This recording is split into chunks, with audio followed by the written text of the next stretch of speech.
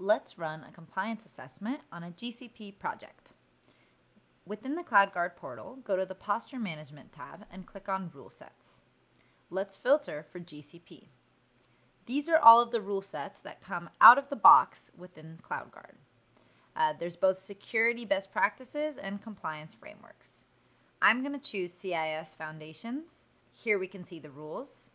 I'll click Run Assessment and choose the relevant GCP accounts that I want to test.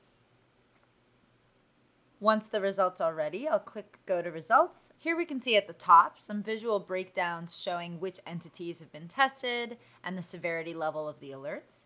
And if I expand on one of these results, you'll get a more detailed description of what this rule is testing for, what are the remediation steps that you can take in order to fix this issue, and a list of the entities that failed this test. Now, from within these entities, you can do a few actions, including preview the entity, create an exclusion so that this rule won't be tested on this entity anymore, or configure an automatic remediation so that if this rule is ever failed again, CloudGuard will go and automatically fix it, as well as alert you. Now, let's go in and create a customized rule set with custom rules that are unique to my organization. If I go into the rule sets, I'll click on one and click clone. You need to create a clone of the out of the box rule sets in order to edit and customize them. Now, from within this cloned rule set, if I want to create my own custom rules, I'll click on New Rule.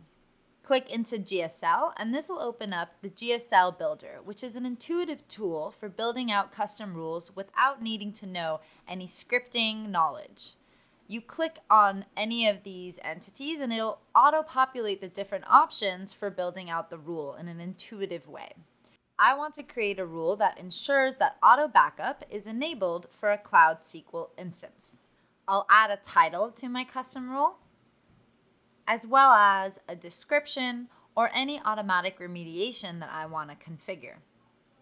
Within the compliance section, I can add specific tags that I want this rule to be associated with. I can also change the severity level.